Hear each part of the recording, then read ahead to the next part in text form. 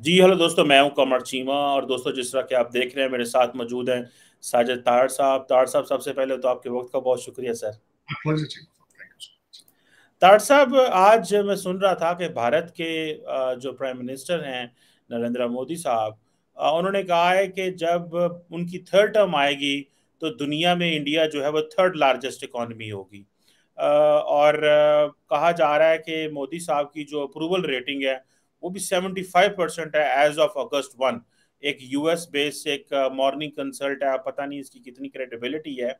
और लेकिन जो जो स्टैटिस्टिक्स आ रहे हैं इकोनॉमी की एक्सपेंशन के हवाले से या जीडीपी ग्रोथ रेट के हवाले से, या जो आईएमएफ कह रहा है कि जो इकोनॉमी जो है वो ग्रो करेगी आप कैसे देखते हैं? इधर पाकिस्तान का तो आपने देख लिया, तमाशा हुकूमत जा रही थी।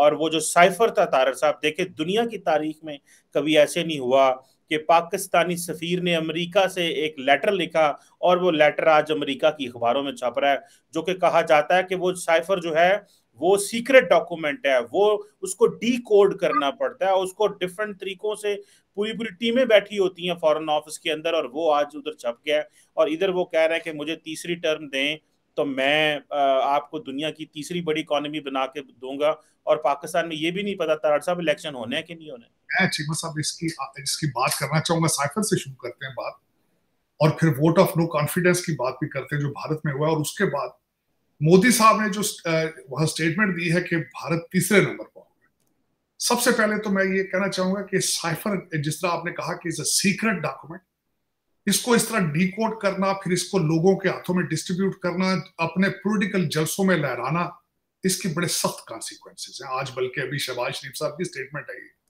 आज की अभी उनकी स्टेटमेंट है कि इसके कॉन्सिक्वेंसेस सख्त होंगे होने चाहिए। आ, लेकिन आ, अब मैं जो उस साइफर की हकीकत बताना चाहता हूँ जो यहाँ इंटरसेप्ट ने छापा है। इंटरसेप्ट ने छाप राइट वो आर्टिकल लिखने वाले एक अमेरिकन है और एक पाकिस्तानी। अब मैं ये बताना चाहता हूँ कि वो पाकिस्तानी कौन है? वो पाकिस्तानी इसी रिलीजियस कल्ट का हिस्सा है। उसकी माजी की ट्वीट्स ने साबित किया है कि वो ही is a committed Khan sahab supporter एक तो ये बात सामने आ चुकी है। फिर उसने किस खूबसूरती के साथ पाकिस्तान आर्मी पे अटैक किया? उसने पाकिस्तान, उन्होंने किसी पॉलिटिकल पार्टी पे अटैक नहीं किया। बल्कि अब बाजवा साहब और फैज अहमद फैज हमीद साहब भी जा चुके हैं। उन्होंने कहा सर्विंग पूरी किसी फौजी ने हमें ये दिया ये सीधा अटैक है इस वक्त आर्मी को बदनाम करना और कमज़ोर करना। अब ये इस वक्त डिपेंड करता है कि पाकिस्तान आर्मी इसको कितना सीरियस लेती, लेकिन सीरियस लेना चाहिए। इसको सीरियस लेना चाहिए कि this fight is not a political agenda this is the this is the jihad against the state of Pakistan this is a jihad against the Pakistan army और इस वक्त वाहिद इंस्टीट्यूशन पाकिस्तान आर्मी है, जिसने पाकिस्तान को जोड़ के रखा हुआ है। वरना चार सूबे, चार पार्टियाँ, चार जगीरदार, चार लुटेरे, ये जो है, इस तरह, ये सारा काम इस तरह नहीं चलता। ना इस्लामाबाद की कोई रेट ऑफ़ लॉ या गवर्नमेंट किसी दूसरे सूबे पर है, सिर्फ़ एक ही है। या दूसरा रेलवे शायद आपकी फेडरेशन की अलामत जो गाड़ियाँ आपकी चारों सूबों के अंदर फिर रही हैं, या आपकी करेंसी है जो एक एक चारों करेंसी चल रही बल्कि ईरान में ईरानी करेंसी चल रही है आपकी, बलोचिस्तान में, वहाँ तो वो भी मैं नहीं मिसाल दे सकता, लेकिन पाकिस्तान आर्मी आज भी यूनिफॉर्म अंडर वन कमांड और किसी मुसीबत में भी खड़े होती है तो पाकिस्तान आर्मी खड़ी होती है। एक तो ये सख्त ज़्यादा हुई है, ये ये साइफर का जो जिस तरीके से वो एक जो लौंडा लपाड़ा जिसने हक अदा करने की कोशिश की है, अपनी कमिटमेंट की टूवर्ड्स द रिलीजियस जिहाद उसने पाकिस्तान आर्मी को बदनाम करने की कोशिश की है। एक तो मेरी ओपिनियन उसके बारे में ये है। दूसरा, इसकी सिवेरिटी इस जिहाद की सिवेरिटी आप ये देखें कि ब्रैडफोर्ड इंग्लैंड के अंदर एम्बेसी के ऊपर झंडा उन्होंने लगा दिया अपना। एक जेरी तौर पर मरीज़ आदमी ने अपना पासपोर्ट जला दिया, फाड़ा है उसने और उसको। इंतहा देखें कि इस, ये बीमारी कितना ये जादू कितना सर चढ़ के बोल रहा है, ये काला जादू है, बकरों का जादू। तो इसको मेरे ख्याल में इसके बारे में कोई अब गुंजाइश रहनी नहीं चाहिए पीछे। इसको, इसकी जब जब तक इसको आखिरी इंजाम तक ना पहुँचाया जाए, मेरा ख्याल है तब तक ये पाकिस्तान की सॉवरेंटी और सालवियत के लिए एक बहुत बड़ा खतरा बन चुका है। अब दूसरी मैं बात ये करना चाहूँगा, चिमा साहब, आपने कहा है भारत के बारे में। भारत का, एक तो वहाँ पे आज वोट ऑफ़ नो कॉन्फिडेंस है, देखते हैं। कि यहाँ पे भारत में तो वोट ऑफ़ नो कॉन्फिडेंस हुए तो आज तक वहाँ पे कभी कामयाब नहीं हुआ। लेकिन पाकिस्तान में वोट ऑफ़ कॉन्फिडेंस की तो कीमत अभी तक हर पाकिस्तानी अदा कर रहा है। पाकिस्तान में भी एक्सरसाइज हुई थी। अब देखें इंडिया में कितने कितनी स्टेटें जलाई जाती हैं। लेकिन उस उस सारी प्रोसीडिंग को देख कर मुझे आज रोना आया। दो घंटे मोदी साहब बोले सवा दो घंटे बाद उसके बाद वो चलेंगे। का, कांग्रेस का वाला बंदा ये बोला है अपना गांधी साहब भी बोले कल दो घंटे की स्पीच जो है अमित शाह ने दी सिर्फ़ वो इनकी गवर्नमेंट की पॉलिसी को सुनना चाहते थे कि what is their stand on Manipur Manipur के ऊपर मोदी साहब ने खुल के बोले नहीं। This was the sole objective वो सुनना चाहते थे कि ये क्या कहते हैं? वेर वी आर हेडिंग उन्होंने बड़ी मैंने मोदी साहब की सारी सवा दो घंटे की स्पीच सुनी उसमें। आ, और उसी में उन्होंने जब बात की कि इंडियन इकोनॉमी अब मैं बल्कि खासकर मैंने एक प्रिंसटन के इंडियन प्रोफेसर हैं जिन्होंने एक बड़ा अच्छा ऐसे लिखा है भारत की इकानमी के बारे में। मैं वो भी आपके गोश गुजारना चाहूँगा कि मोदी साहब ने जब यहाँ कांग्रेस में आके स्पीच दी थी अमेरिका में तो उन्होंने कहा था, पिछली दफ़ा जब मैं यहाँ आया था अमेरिका की हाउस के अंदर स्पीच दी थी तो Indian economy was at number ten अब मैं दूसरी टर्म में आ रहा हूँ यहाँ पे अपने and Indian economy is number five तो ये ये रियलिटी है ये हकीकत है। अब वो किस तरीके से ग्रो कर रहे हैं क्या वजूहत हैं क्या प्रोज एंड कॉन्स हैं उसके बारे में मेरी खुद क्योंकि आपको पता है मैं उस रीजन पे मेरा इंटरेस्ट है पाकिस्तान की वजह से मेरी फीलिंग्स हैं टुवर्ड्स इंडिया एज वेल ये मैं, मैं पाकिस्तान के नेबर हैं मैं उनको भी अपना बहन भाई समझता हूँ। We are genetically we are same people हम सदियों से इकट्ठे रह रहे हैं। ये अलग बात है कि आजकल उसमें चीज़ें बल्कि मैं यहाँ चीमा साहब, एक छोटी सी बात ये ये कंपैरिजन मैं पाकिस्तान के साथ नहीं कर रहा, अपने सुनने वालों को कहना चाहूँगा ये। और दूसरी ये बात है कि मैं जब भी भारत जाता हूँ, मैं फिर दोबारा जाने वाला हूँ अभी दो महीने तक।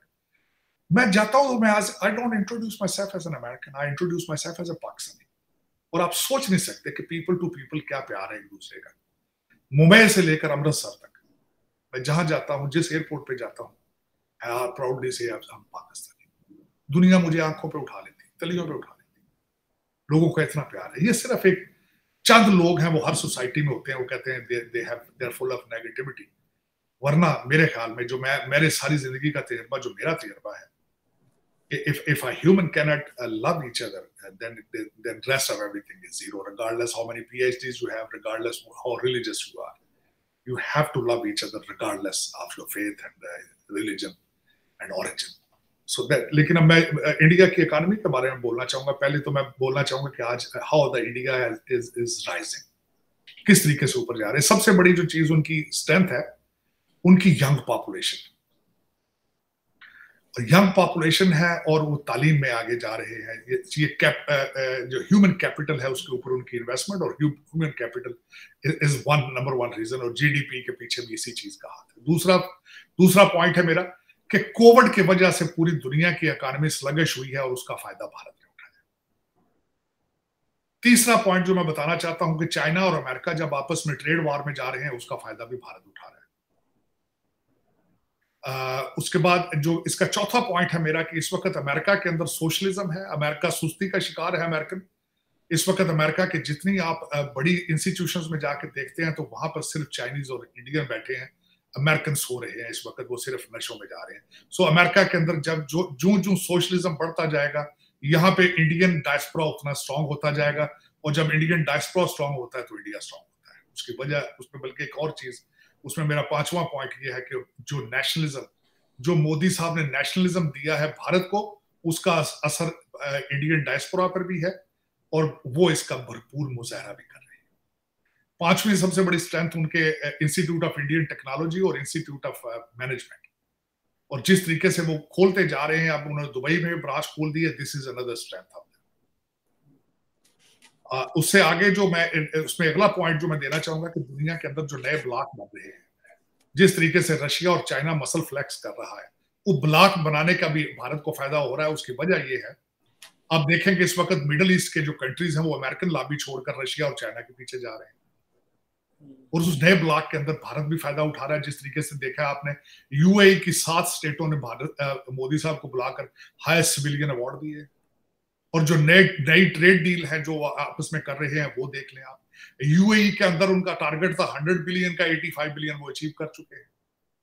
फिर उसके बाद उसका फ़ायदा सबसे बड़ा जो इंडिया ने ये उठाया है कि यूएई की इन्वेस्टमेंट उठा के कश्मीर में ले आए और उसमें उन्होंने क्या किया है, जब मिडल ईस्ट में अपना इन्फ्लुएंस बढ़ाया है तो उन्होंने बड़े टेक्निकल तरीके से दो मुल्कों को एंगेज किया है और पाकिस्तान उसकी लपेट में आ गया वो ये किया है कि उन्होंने यूएई और सऊदी अरेबिया को जब उन्होंने they chased them down for the trade deals और सारा इन्फ्लुएंस बढ़ाया है, और पाकिस्तान के फाइनेंसर कौन है? सऊदी अरेबिया यूएई तो अब पाकिस्तान की मजबूरी है कि to you have to you have to accept the Indian relationship in the Middle East so Middle East के अंदर जो नए ब्लॉक बने हैं, उसका भी भारत ने फ़ायदा उठाया है। और उससे अगला पॉइंट जो मैं बताना चाहूँगा कि देखें इस वक्त भारत ने जो डिजिटल इंडिया का कॉन्सेप्ट एक दिया है, जो एक इंफॉर्मेशन टेक्नोलॉजी के ऊपर almost they they are manipulating right now at the minute इस वक्त।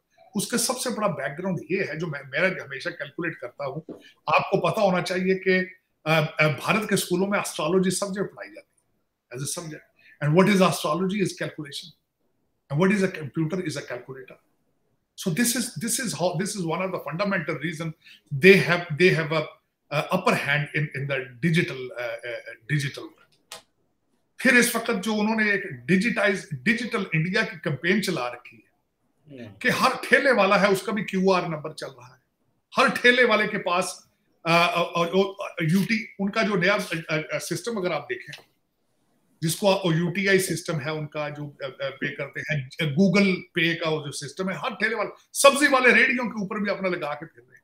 अब उसका फ़ायदा एक ये हुआ है कि गवर्नमेंट को पता है कि लोग टैक्सेशन के हवाले से, सारी चीज़ें सामने ब्लैक एंड व्हाइट सामने आ रही है।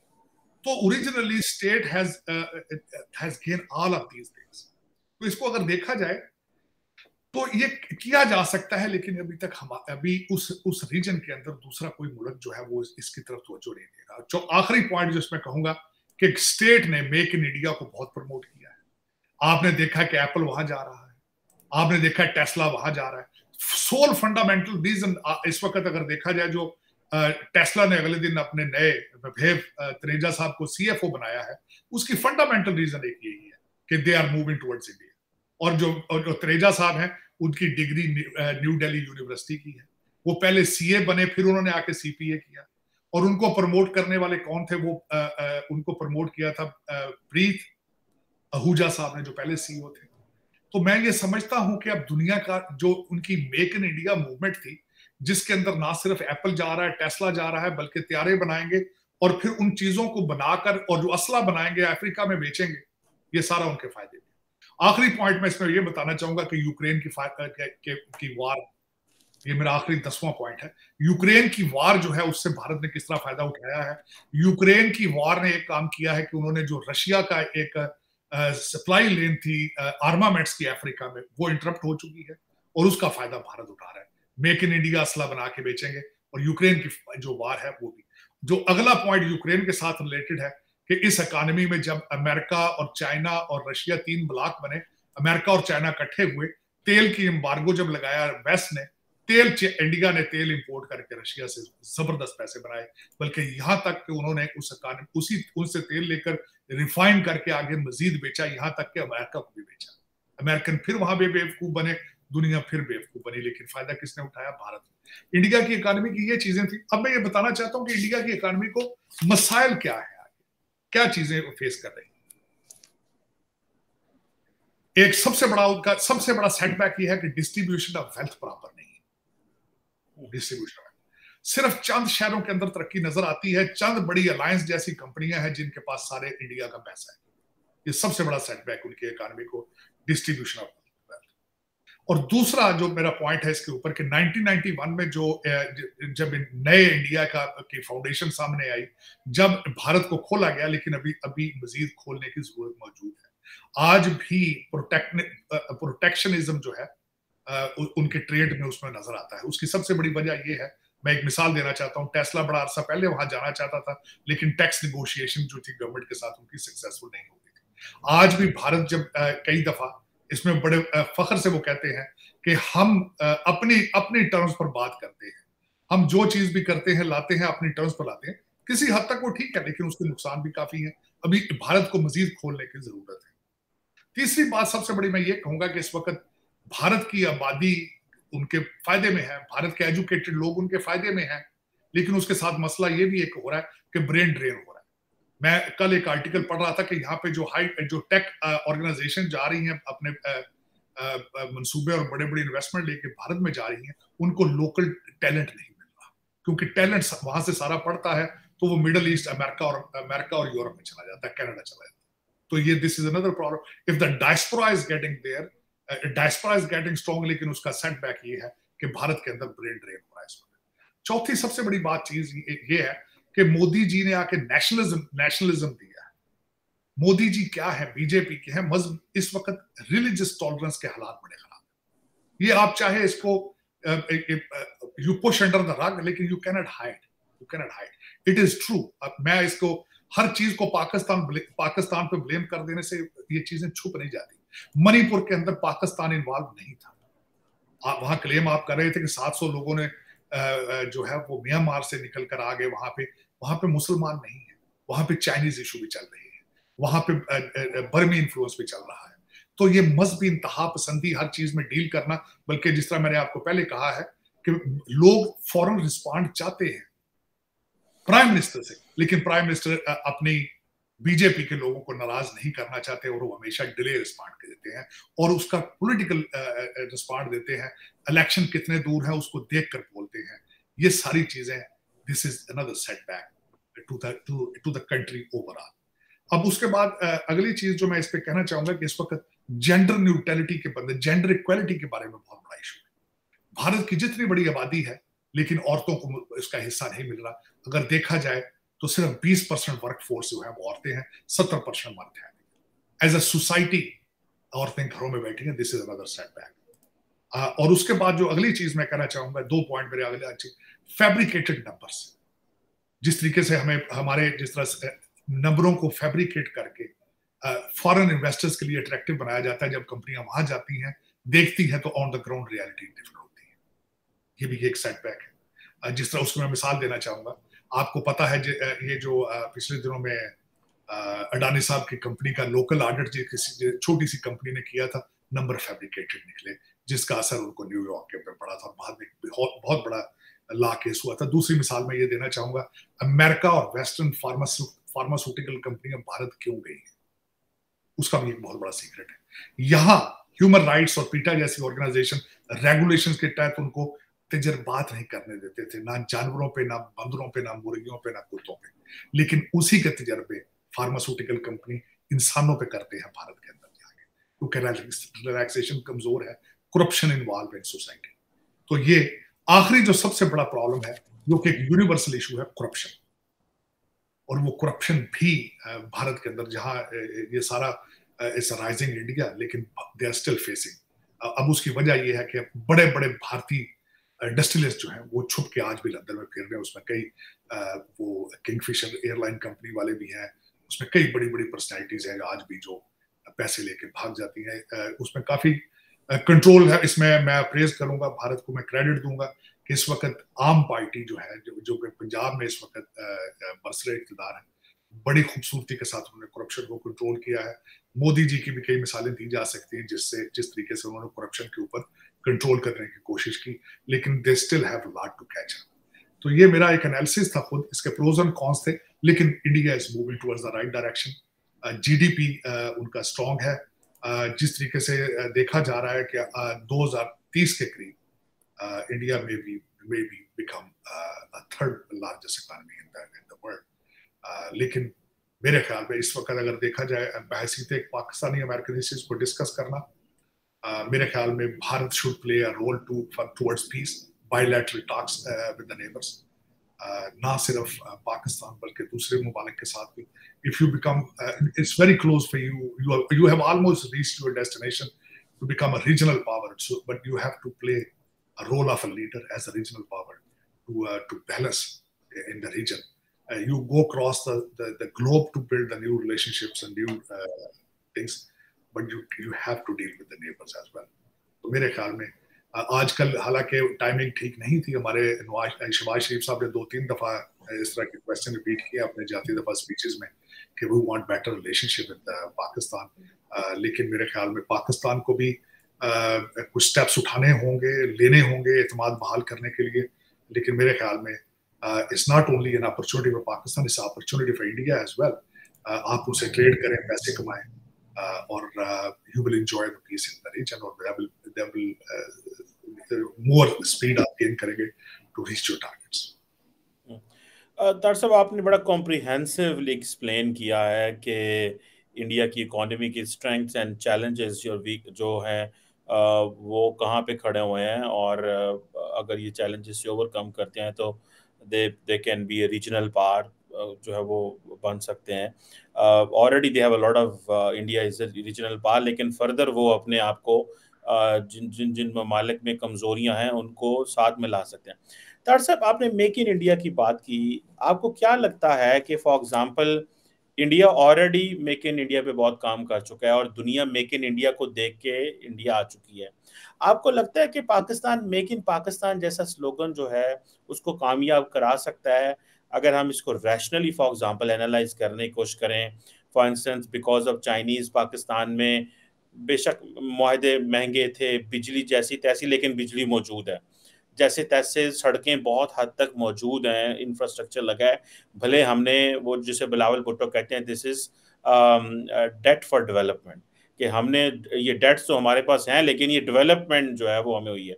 आपको लगता है कि पाकिस्तान मेक इन पाकिस्तान जैसा कोई कॉन्सेप्ट दे और जिस तरह मेक इन इंडिया है तो खिता हमारा अगर खुले, और एक और इसमें मैं पॉइंट ऐड करना चाहता हूँ मेक इन पाकिस्तान प्लस अगर prime minister Modi next election जीतते हैं, और उनके पास इतना स्ट्रॉन्ग मैंडेट होने के बाद, आपको लगता है कि वो पाकिस्तान से एक दफ़ा फिर वो चांस ले सकते हैं? जिस तरह उन्होंने 2016 में चांस लिया कि मैं पाकिस्तान जाता हूँ, देखता हूँ इंगेज करता हूँ तो वो कहेंगे जी, ठीक है, एक दफ़ा फिर पाकिस्तान को, के साथ इंगेज करें। तो ये अगर make in Pakistan make in India हो तो तार साहब डू यू थिंक अगर हेपोथेटिकली स्पीकिंग ये बहुत बड़ा हेपोथेटिकल मैंने कह दिया है कि खिता ग्रो कर सकता है, चीज़ें बेहतर हो सकती हैं, साथ में बांग्लादेश भी अटैच हो जाए, साथ में श्रीलंका भी हो तो ये do you find any prospects for this sir Cheema sahab, मैं इसका इसका बैकग्राउंड ये बनता है कि कोविड की वजह से पूरी दुनिया ने तजर्बा किया है, सारी दुनिया ने अपने बास्केट जो है वो चाइना में रखे थे। चाइना सारी दुनिया के एक मैन्युफैक्चरिंग हब बन चुका था। लोग डर गए हैं। इस वक्त सीईओ जो बड़ी बड़ी कंपनियों के हैं, वो अपने बिज़नेस निकाल के सबसे पहले उनकी पहली प्रायोरिटी वियतनाम है। दूसरी डेस्टिनेशन उनकी इंडोनेशिया मलेशिया है। उनकी तीसरी प्रायोरिटी बांग्लादेश है। आखिरी प्रायोरिटी इंडिया है। अब ये ये इसमें अपॉर्चुनिटी तो मौजूद है पाकिस्तान के लिए, लेकिन उसमें पाकिस्तानी सीरियस नहीं। और सबसे बड़ी मैं एक बात बताना चाहूँगा। कोई भी फॉरेन इन्वेस्टर किसी ऐसे मुल्क में नहीं जाता जहाँ लॉ एंड ऑर्डर और पॉलिटिकल इंस्टेबिलिटी पैसा प्रोटेक्शन पहले चाहता है। बिजनेसमैन प्रोटेक्शन पहले देखता है, फिर वहाँ जाता है। ये सबसे बड़ा आपको इशू ये है, आपकी गवर्नमेंट की पॉलिसी बना देने से शबाज शरीफ के, कह जाने से फॉरेन इन्वेस्टर नहीं जाएँगे वहाँ पे, जब तक लॉ एंड ऑर्डर नहीं। जब तक धमाके होंगे, वो वहाँ पे बिज़नेस नहीं आएगा। पहली तो बात ये है। दूसरे, आप सीरियस नहीं। मेक इन पाकिस्तान बिल्कुल हो सकता है। क्यों नहीं हो सकता? अगर आप बिल अपनी बनाए तो क्यों नहीं हो सकता? अगर, लेकिन मैं दूसरी साइड में बताना चाहूँगा इंडिया के अंदर उनकी गवर्नमेंट पूरी कंपेन चलाती है। पूरी कंपेन मैंने खुद यहाँ सीएनएन के ऊपर एड्स देखी है मेक इन इंडिया की। क्रेडिबल इंडिया की कंपेन देखी है मैंने। टूरिज़्म को प्रमोट करते मैंने सीएनएन पे अमेरिका के अंदर एड देखी। आपको अपने डिप्लोमेटिक मिशन को performance base performance base institution बनाना होगा। आपको वहाँ पे क्वालिटी वाले लोगों को भेजना होगा बजाय सिफारशी लोगों के। और दूसरा मैं इसमें ये कहना चाहूँगा कि इस वक्त पाकिस्तान का जिस मैंने आपको number one problem law and order है, दूसरी पोलिटिकल इंस्टेबिलिटी है, और तीसरा आपकी सीरियसनेस और वो किस तरह जान छूटेगी, वो जान इस तरीके से छूटेगी जब आप पाकिस्तानी लोगों को लेकर आगे आएँगे। अभी तक आपकी सिर्फ़ जो रूलिंग एलिट है सारे इंपॉर्टेंट है। उनकी तालीम भी बाहर की है, उनके बच्चे भी बाहर हैं, उनका माइंड भी बाहर है और वो ही एक कैंसर है पाकिस्तान के लिए बन चुके हैं। क्योंकि वो लोकल लोकल ना मौसमों को समझते हैं, ना मिजाज को समझते हैं। ना जरूरतों को समझते हैं, ना जस्टिफाई कर सकते हैं। इस वक्त मैं, जिस तरह मैं पहले हमेशा को मिसाल देता हूँ, मैं हैरान होता रहता हूँ। डॉक्टर जयशंकर साहब के देखें, कई दफ़ा उन्होंने कपड़े उनके बिल्कुल भारत का, उन्होंने बेस कोट पहना होता है। नीचे उनका उनका नीचे पैंट होती, शर्ट होती, ऊपर उनका वेस्ट कोट होता है वाइफ उनकी जैपनीज जापानीज जापानीज लैंग्वेज बड़ी फ्लुएंट बोलते हैं। लेकिन लोगों के अंदर प्राइड होती है। हमारा आप देखें कभी देखें कपड़े इनके, इनकी गाड़ियाँ देखें ठाट पाट तो हम तो हम हमने पाकिस्तान से ना प्यार किया है, ना कर रहे हैं, ना करने का कोई मुस्तकबिल में नज़र आ रहा है। और वो भारत के अंदर देखें जब चीज़ें नेशनलिज्म मैंने एक चीज़ आपको कही थी, जब एक कौम के, कौम को अपने ऊपर फख्र होता है ना, जब नेशनलिज्म आता है, उससे हर चीज़ उठती है, आगे आती है। हमारे अंदर वो नहीं है। हमारे बच्चे यहाँ अमेरिका में किसी से पूछे भी, आप कौन है? वो कहते हैं, मैं अमेरिकन हूँ, मेरा बाप पाकिस्तान से आया था। लोग अब पाकिस्तान की अपनी आइडेंटिटी को वेस्टर्न सिविल कंट्रीज़ में छुपाना शुरू हो चुके हैं। इतना बेजत कर दिया है हमारी नेशनैलिटी को। हमारे पिछली नस्लों ने, और जो इस वक्त जो, ये ब्रिटिश एजेंट बैठे हैं, ये जो आपके सी एस एस अफसर हैं, ये ये भी ब्रिटिश एजेंट है, क्योंकि सी एस एस का अदारा ब्रिटिशों ने बनाया था। और ये उन्हीं को उसी एक आइडियालॉजी को सर्व कर रहे हैं। दूसरे ये बड़े बड़े जिम्मेदार हैं, ये तो वैसे ही सारे ब्रिटिश एजेंट थे। आपको मार तो ब्रिटिश एजेंट दे रहे हैं सारे। और पता नहीं उनसे जान कौन छुड़ाएगा ये। ये A C D C S P जो सारा ब्रिटिश ब्रिटिश लोगों के ये जो बाकियात हैं सारे। उनका माइंड सेट जो है, पाकिस्तानी नहीं है ब्रिटिश तो वो अब असल में दर हकीकत ये है कि आपकी, ना आपने पाकिस्तान बनाया, ना कौम बनाई। और पता नहीं अब आगे भी इसका क्या बनता है, लेकिन भारत की जो मैंने चीज़ें देखी हैं इस वक्त, जो प्राइड उनका चल रहा है मैं पंद्रह अगस्त की मिसाल देना चाहता हूँ कि यहाँ से यहाँ से उनका काकस जो कि जिसको समोसा काकस कहा जाता है वो ना सिर्फ़ वो खुद जा रहे हैं रिपब्लिकन कैंडिडेट्स को भी कांग्रेसमैनों को भी लेके जा रहे हैं, पंद्रह अगस्त को मनाने के लिए। क्योंकि प्राइड है, क्योंकि प्राइड है। उनको एम्बेसी इन्वॉल्व हुई होगी, उनके फैसिलिटेशन की होगी इनविटेशन दी हुई होगी। मैंने खुद देखा मैं आप, मैं बड़े करीबी आपके करतारपुर मार्ग खुला था। मुझे मेरे यहाँ जितने भारतीय दोस्त थे, उनको बुलाया गया वहाँ पे। सरकारी खर्चे पे गए, गाड़ियाँ दी गई थी प्राइड था उनका। वो एक, हर साल एक ओवरसीज पाकिस्तानी अवार्ड देते हैं। यहाँ से यहाँ से जो एनआरआई है नॉन रेजिडेंट इंडियंस वो प्राइड के साथ इकट्ठे होते हैं, हज़ारों के हिसाब से जाते हैं। लेकिन ये ये ये एक नेशनलिस्ट मूवमेंट होती है, उसको चलाना आज तक पाकिस्तान ने नहीं कभी चलाया यहाँ पे एम्बेसियाँ होती थी माजी के अंदर। वो हमारे ओवरसीज लोगों के बच्चों को हर साल एक समर कैंप पाकिस्तान लेके जाते थे। वो भी छोड़ दिया उन्होंने इस वक्त तो फिर आप, इस वक्त तो आप बेयारो मददगार हैं। एक जिस तरह यतीम बच्चे होते हैं जिनका ना माम हो, ना बाप हो, वो सड़क पे पड़े हैं। कभी चाइनीज़ उठा के ले जाते हैं, कभी अमेरिकन उठा के ले जाते हैं बच्चों। आपने पूछा है कि आगे माजी में होना क्या है? इस वक्त पाकिस्तान में जो भी हो रहा है उसके पीछे या आईएमएफ खड़ा है और या उसके पीछे सी पैक खड़ा है। आपके इलेक्शन बैलेट के ऊपर भी सिर्फ़ यही कुछ होगा। सी पैक होगा या आईएमएफ आप अभी तक इन चीज़ों को जस्टिफाई नहीं कर सके। आपने तरक्की क्या कर ली है मेरे जैसा बंदे दुख के साथ, अफसोस के साथ कहते हैं। आपको अभी तक यही नहीं पता कि हमने आईएमएफ के साथ रगड़ रगड़ के मारे खानी है फैटफ्स के साथ गुलामी करनी है, या सी पैक बनाना है, या क्या करना है? आप अभी तक ये नहीं पता आपने आगे मुस्तबिल में क्या करना वक्त। मैंने जिस तरह पिछले वीलाग में भी आपको कहा था कि आपके शबाज शरीफ साहब हर तकरीर के अंदर कहते रहे कि आर्मी ये कर गई, आर्मी वो कर गई तो इनको चाहिए दोबारा इलेक्शन ना लड़े, क्योंकि इनकी तो सिस्टम ही नहीं चल रहा है। Civilian system is not working. This is a confession of a prime minister तार साहब, बिल्कुल सही कह रहे हैं। एक आखिरी क्विक क्वेश्चन करूँगा तार साहब।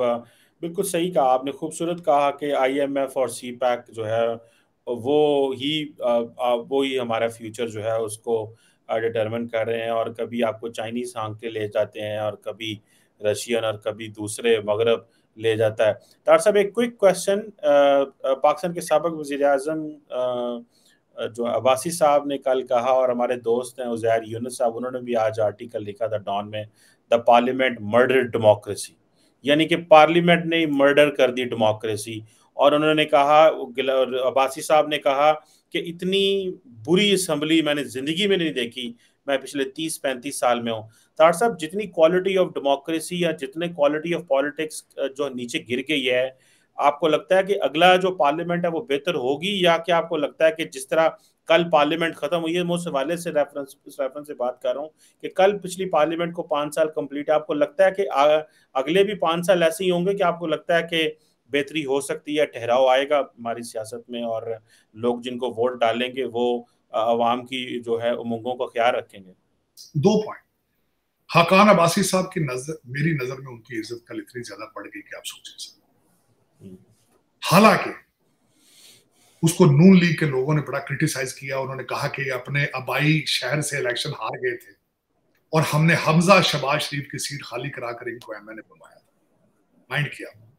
लेकिन उन्होंने बड़ी हकीकत उन्होंने उन्होंने कहा मैं शर्मिंदा हूँ कि इस, इसमें असम्बली का हिस्सा रहा।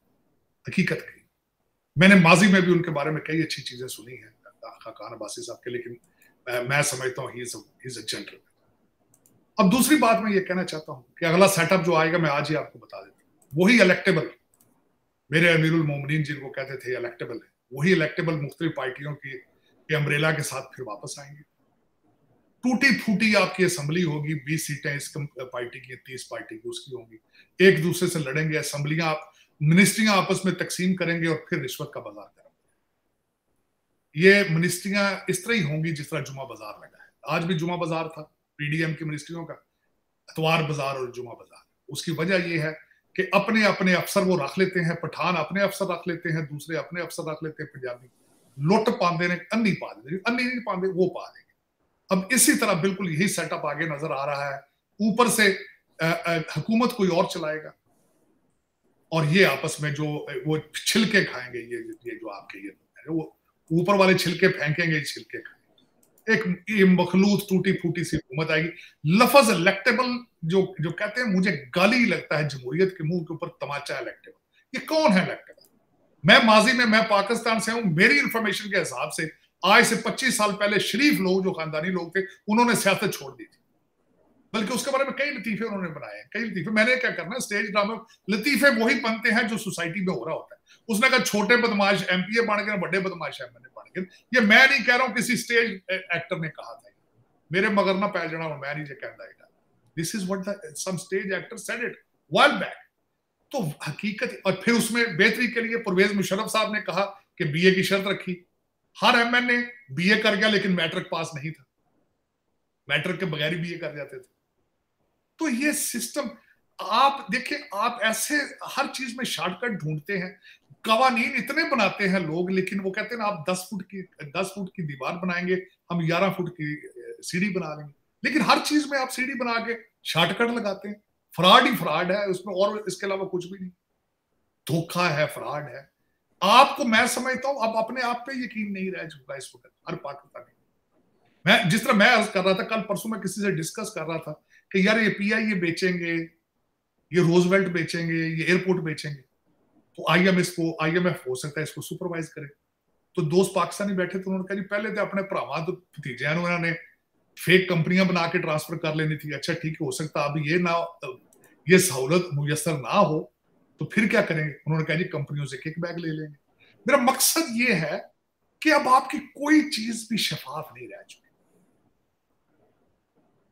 कोई भी चीज़ शफाफ नहीं रह चुकी। हर सिस्टम हर सोच पोलूटेड अदालतें पोलूटेड हर डिपार्टमेंट पोलूटेड अब आपको कहते हैं ना कि इस रूढ़ी से अब स्मेल ही स्मेल आ रही है। और अब मैं अगले दिन मज़े की बात बताता हूँ। या मैं मेंशन करना चाहूँगा। अगर कोई सुनने वाला सुन रहा हो विवेक रामास्वामी ने अमेरिकन सोसाइटी के बारे में कहा है। तीन चीज़ों उन्होंने कहा उसने कहा डिपार्टमेंट एजुकेशन एफबीआई और आई अगर मैं बनता गया तो तीनों डिपार्टमेंट खत्म कर। उसने कहा the country don't need reform now it needs revolution आपके ऊपर ये इसको दस से जरब ज़्यादा दे लें आप। इस वक्त you cannot reform your system इस वक्त आपका ऊपर बंदा एक, जिस तरह के हमारे इस वक्त आर्मी चीफ है, आपसे कुरान, वो डंडा लेकर डिसमेंटल करके असेंबल करें चीज़ें। ये मेरी ख्वाहिश है। This is the only way forward only way forward only otherwise ये कौम, वो आंदे ने ये कौम बातों से मानने वाली नहीं। बिल्कुल सही है दार साहब। आपने बड़े वो कहा कि आप साहब जो है, वो डंडा फाड़ लें और जो है ना, वो अपनी सफ़ाई सफ़ाई करें लेट सी ये कहा तो जा रहा है, सफ़ाई होगी। प्रॉपर हो पाती है या बीच में छोड़ देते हैं। जैसे माजी में होता रहा है। लेकिन अब बिल्कुल सही बात है, अब गुंजाइश कोई नहीं है, अब सिस्टम जो है इसको नया करने की ज़रूरत है। लेट सी क्या होता है अगले कुछ अरसे में। लेकिन दुनिया की बड़ी सख्त नज़रें पाकिस्तान की तरफ़ हैं छः आठ महीने अगर इलेक्शन नहीं होते और अगर होते हैं तो कैसा सेटअप आएगा? देखते हैं दार साहब thank you very much Dar sahab. For your time it's always play ये टॉक सर बहुत शुक्रिया।